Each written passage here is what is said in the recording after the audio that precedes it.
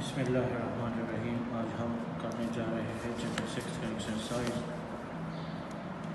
choose the correct option first which one of the following solution is more dilute इसमें more dilute solution कौन सा है? तो इसमें डी नंबर ऑप्शन ट्रू है zero point zero zero five molar mail is an example of colloidal solution इसमें C number option जो है, ये ट्रू है।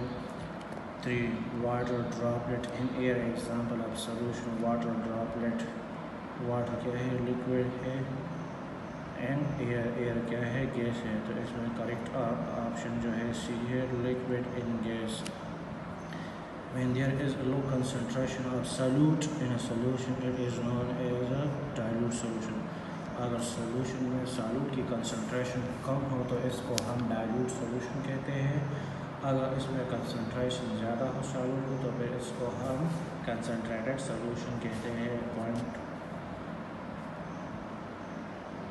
blanks number five what is the molarity of sodium nitrate solution made by diluting to fifty cm cube a one point six zero molar solution to final volume of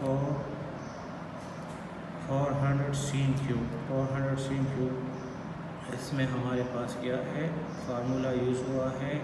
कौन सा formula use हुआ है? इसमें हमारे पास और dilution equation use हुआ है तो इसमें हमारे पास करेक्ट ऑप्शन जो है वो सी है। M one V one is two V two formula इसमें यूज़ हुआ है। Blanks number 6. What is the concentration in percentage mass by volume a solution containing 15 gram potassium chloride in 600 cm cube of solution. इसमें भी formula use हुआ है। Percentage mass by volume multiply hundred तो इसमें हमारे पास क्या है? मास 15 ग्राम है वॉल्यूम 60 600 है मल्टीप्लाई हंड्रेड तो इसे हमारे पास 2.5 आता है तो इसका सही ऑप्शन जो है 2.5 है। When KCl dissolve in water, the following will be produced. जब हम के KCl को पानी में डिज़ोल्व करते हैं तो ये कौन से आयन बनाते हैं? Potassium ion and chloride ion तो इसमें करेक्ट ऑप्शन जो है बी है। Two moles of sodium sulphate are dissolve in one D cube of solution molarity of solution is यहाँ पर हमें भी फार्मूला दिया गया है। मोलरिटी हमारे पास क्या है? Number of moles divide by number of solution in D cube moles दिया गया है टू है। वॉल्यूम की सोल्यूशन कितनी है? वन डी क्यूब है वन यहाँ पर लिखा है तो इसे हमारे पास आंसर आता है टू तो इसका सही ऑप्शन जो है, ये क्या है? बी है two molar molarity is the number of moles of solute desire in one D cube of solution यहाँ पर क्या है? One D cube of solution इसमें ट्रू ऑप्शन है। Molarity of NaOH solution by dissolving 4 gram of it into 50 ml water sodium hydroxide की molarity मालूम करें अगर हम हम इसमें 4 ग्राम सोडियम हाइड्रोक्साइड डालें तो यहाँ हमारे पास मोलरिटी का फार्मूला क्या है मोलरिटी का फार्मूला है हमारे पास molarity is equal to mass in gram divide by molar mass multiply volume of solution in D cube यहाँ पर ये हमारे पास क्या है? मास इन ग्राम में फोर ग्राम है, मोलर मास मोलर मास की नया कितना है? फोर्टी है, वॉल्यूम एम में है तो इसको हम डी क्यूब में कन्वर्ट कर दें तो इसे हमारे पास ये वैल्यू। अब इसको हम सिंप्लीफाई कर दें तो इसे हमारे पास ज़ीरो पॉइंट फोर जो है आता है। इसके बाद हमारे पास नोमेरिकल क्वेश्चन, इसको हल करेंगे। What is the molarity of a solution composed of 5.85 gram of potassium iodide potassium iodide formula Ki dissolved in enough water to make 0.125 dm cube of solution तो यहाँ पर ये हमारे पास क्या है इसका मास इन ग्राम हमारे पास क्या है मास इन ग्राम ये हमारे पास 5.85 ग्राम है volume of solution 0.125 D in cube है, यहाँ ये क्या है D in cube molarity find करना है molar mass number of mole तो हमारे पास जो है, मास इन ग्राम दिया गया है, मोलर मास किस तरह फाइंड करेंगे? मोलर मास, हमें पता है कि पोटाशियम के एटॉमिक मास जो है, वो हमारे पास क्या है? थर्टी नाइन है। पोटाशियम हमारे पास नहीं है, इसके एटॉमिक मास है थर्टी नाइन प्लस आयोडीन के है one twenty six point nine zero ये भी वन है। इस तरह इसको जमा करते हैं इससे हमारे पास आता है one sixty five dot nine zero gram पर मोल तो ये हमारे पास जो है, इसका मास आ गया मोलर मास आ गया।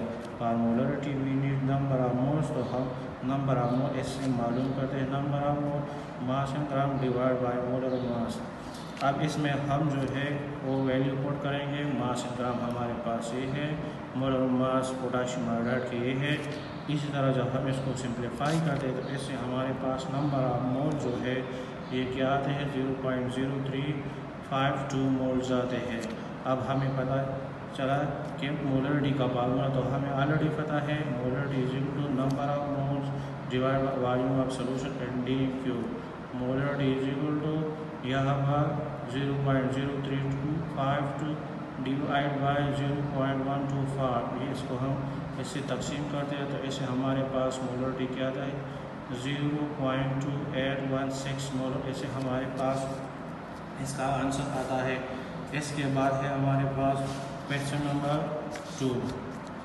How many moles of sulfuric acid are present in a 0.500 dm cube of solution? तो इसमें हमें क्या मालूम करना है? मोल्स मालूम करना है। इसमें हमें मोलरिटी भी दिया गया है। वॉल्यूम ऑफ़ सोल्यूशन भी डी एम क्यूब में दिया गया है। रिक्वायर्ड क्या है? नंबर ऑफ़ मोल्स है। सोल्यूशन इसका हल क्या है? तो इसका हल ये है कि हमारे पास मोलरिटी का फार्मूला क्या है molarity is to number of moles divide by volume of solution in D in Q इसमें हम नंबर ऑफ़ मोल्स मालूम करते हैं तो इसको इस तरफ़ ले आते हैं। Number of mole is equal to molarity multiply volume of solution in D in Q इस तरह हम इसमें मोलरिटी लिख देते हैं। वॉल्यूम ऑफ़ सोल्यूशन जो हमें गिवन डाटा में दिया गया है, इसको आपस में ज़रब करते हैं, मल्टीप्लाई करते हैं। तो इससे हमारे पास क्या आता है? Zero point zero seven five mole जो है, ये हमारे पास इसका आंसर आता है। इसके बाद है question number three suppose you want to dissolve 40 gram of in in water to make six dm cube of solution what is the molar mass of इनर्ज what is the molarity of this solution given data given data हमें क्या है? Mass in gram of इनर्ज 40 ग्राम है। Volume of solution हमारे पास sixteen cube है। Required ज़रूरत किसकी है? Molar mass of N H की मोलरिटी ऑफ़ फार्मूला बिन एच यहाँ पर हमारे पास सोडियम की एटामिक मास 23 है, ऑक्सीजन की 16 है, हाइड्रोजन की वन है। इसको आपस में ऐड कर दे, जिससे हमारे पास मास आता है, मोलर मास एन का 40 ग्राम पर मोल आता है। मोलरिटी ऑफ़ सोल्यूशन मोलरिटी अब हम मालूम करते हैं mass in gram divide by molar mass multiply volume in D cube यहाँ पर मास इन ग्राफ हमें कितना देगा? फोर्टी। मोलर मास फोर्टी है। Multiply six. इसको ऐसे ज़रब देते हैं।